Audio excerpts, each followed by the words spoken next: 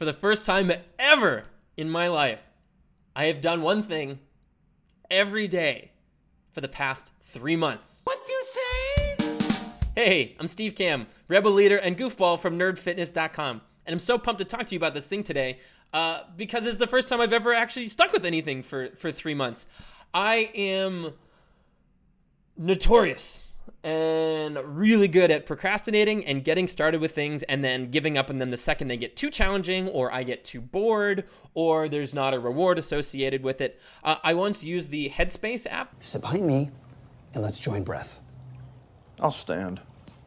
Interesting technique. I'm sure many of you are familiar with it. It's about, uh, you know, it's a meditation app. After a certain number of days, you earn a new badge for your account. That one thing alone was enough to keep me meditating every single day for I think 50, 52, 53, 54 days, something like that. And then I missed one day, and missing that one day was enough to derail me for six months. In fact, I haven't meditated since I missed that one day. Serenity now! Serenity now! What is that? So, what happened this time? And what is the thing that keeps me, that I've actually focused on being able to do for the past three months, literally to the day, the past three months? Uh, it's writing in a journal. And specifically, I've been using uh, this thing called the five the five minute journal. Uh, first of all, I'm not affiliated with them anyway. I, I met uh, UJ, the guy that uh, helped found the company at a conference, but this was two months after it already started using it. So that was kind of cool. Um, it's a very simple idea. I believe it's five minutejournal.com, five spelled out, five minutejournal.com. And it's this journal where you simply, every day, you wake up, the first thing you do is fill in the top part of it and it says I'm grateful for, and you write three things. What would make today great? Write three things, and daily affirmations. I am blank. And then at the end of the day, for another two and a half minutes, you're supposed to write three amazing things that happened today, and how could I have made today even better? So I know there have been numerous studies out there that have shown that journaling and actively writing down the things that are great in your life can lead to overall increased satisfaction and happiness, less depression, so on and so forth. It's science. Uh, the thing I loved about this journal, and the thing I think has really been helpful for building the habit, is that they make it so simple and the barrier to entry so low that it's it's it's almost impossible not to do it. Like I have two and a half minutes this morning. So the first week I'd wake up and I'd look at the journal in like two and a half minutes. Like, okay, I am grateful for uh, this this cup of coffee or this comfy chair or waking up on a Monday and being excited to work on a project at Nerd Fitness, something like that. And at night, I'd lie in bed, and the last thing I would do is, uh, what am I grateful for? Or what was amazing that happened today? And I get to recount the day that I had had. And it's been fun to be able to look back over the past three months and remember specific moments or instances and remind me that, like, hey, being alive is pretty freaking awesome. Like, there's billions and billions and billions of people, some of them world conquerors or the smartest people on the planet that are now dead. And they would give anything, anything for a day to be alive again.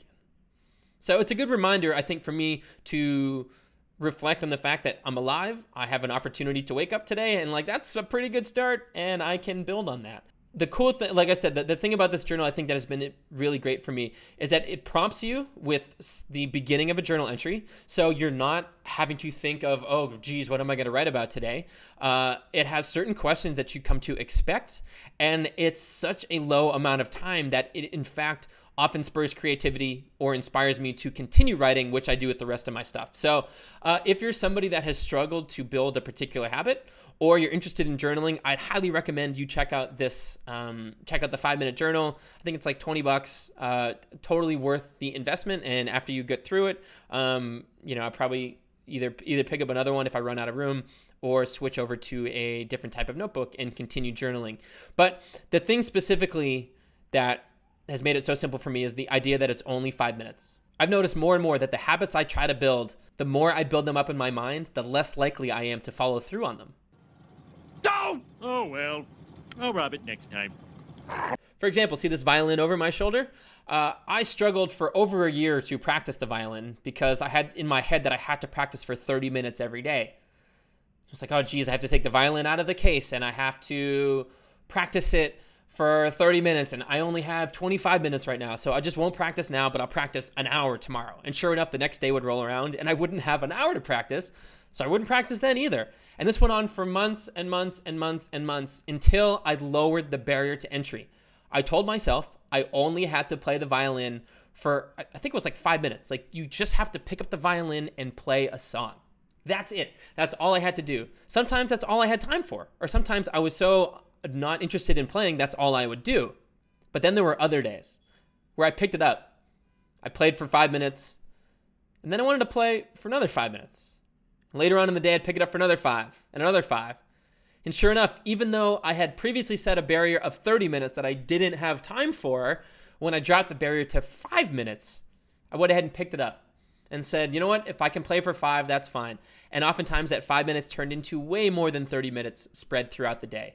So, regardless of what you're trying to build, if you're trying to exercise and you can't get yourself to follow through on building the habit every single day, go for a walk. One does not simply walk into Mordor. Today, wake up and go for a walk.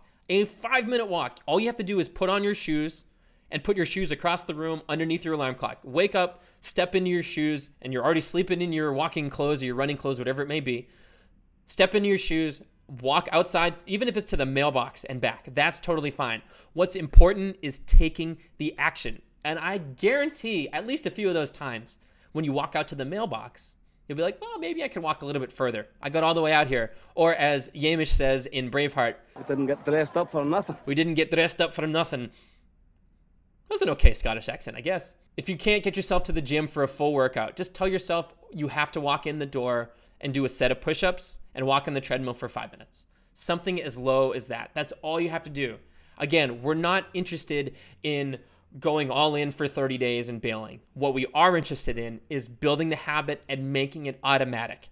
I never thought I'd be a journaler, and here I am 90 days in a row. I haven't earned any points for it. Uh, I don't get any rewards. There's no accountability. It started by me telling a friend saying, Hey, I'm going to do this for the next week. And if I don't, you can call me on it and yell at me, and you can donate money of mine to a political cause I'm not happy with. But after that week was over, now I'm looking forward to the activity. And that's been pretty cool. So, like, it's something I actively look forward to every morning when I wake up. It's the first thing I do, and it's the last thing I do before I go to bed. So, uh, whether you're checking out a five minute journal or looking to build a habit, we like to say aim small, miss small at Nerd Fitness. What did I tell you fellas about shooting? Aim small, miss small. Small, miss small. Set the barrier so freaking low that you have no choice but to jump over it.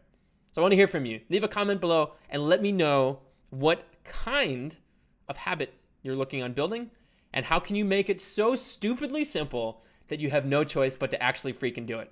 Also, make sure you subscribe below and check us out at nerdfitness.com. I hope you join the rebellion. See ya.